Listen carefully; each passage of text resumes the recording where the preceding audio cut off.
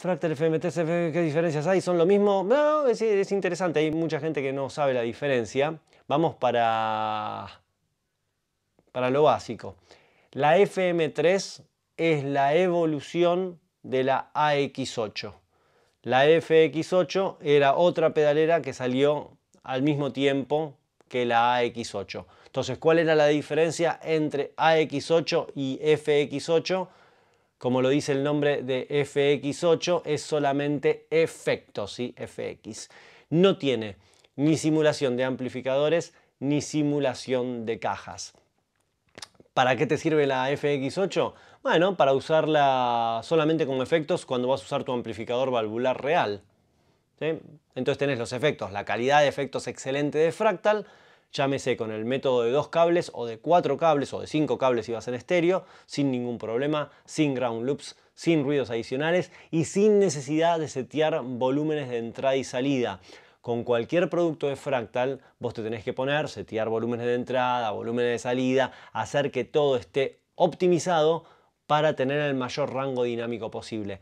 La FX8 viene todo automatizado para que vos enchufes y ya estés andando, no tengas que setear volúmenes. Entonces, para el que usa o para el que quiere usar solamente los efectos de fractal, llámese adelante del amplificador, solo por el loop de efectos, por adelante y por el loop de efectos, o por adelante y por el loop de efectos y encima en estéreo, la FX8 es la mejor opción, porque la cantidad de pedales que tenés y porque está optimizada para la gente que usa solamente los efectos de fractal. Entonces tenés los efectos de la más alta calidad y sin necesidad de tener que setear volúmenes de entrada y de salida de ningún tipo. No importa el amplificador que uses, ya viene todo seteado de manera automática, no tenés que tocar nada. De movida la conectás y suena bien. Esa es una gran ventaja.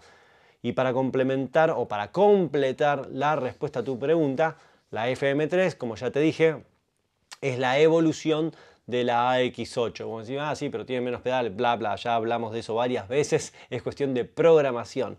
Entonces, obviamente, la FM3 tiene simulación de amplificadores y tiene simulación de cajas, es decir, podés ir derecho por línea sin ningún problema. ¿La podés usar como estarías usando una FX8 para usar solamente los efectos? Sí, de la misma forma que también puedes usar el AXFX 3 o la FM9 para usar solamente los efectos y no eh, los amplificadores y las cajas. ¿Cuál es la teoría acá? Porque todos los productos apuntan a mercados diferentes. Si vos necesitas usar simulación de amplificador y simulación de caja, te conviene ir por cualquiera de los productos que te permiten hacer eso, llámese FM3, FM9 o AXFX 3. ¿Ok?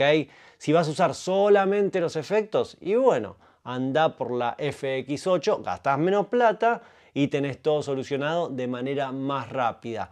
Si eh, decís, no, bueno, yo ahora quiero usar solamente los efectos, pero en algún momento quiero usar las simulaciones de amplificadores y de cajas, no te queda otra más que ir por alguna opción de las FM3, FM9 o AXFX3.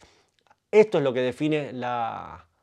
para qué lado tenés que ir. Que vas a necesitar los amplificadores y las cajas o simplemente vas a tener Fractal por la increíble calidad de sus efectos. Ahí está el quid de la cuestión.